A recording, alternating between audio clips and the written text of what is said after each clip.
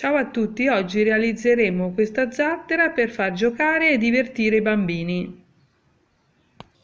Ci serviranno eh, il foam di due colori, tre tappi di sughero, un bastoncino per gli spiedini, una forbice, la colla a caldo e il modello per fare la vela e la bandierina.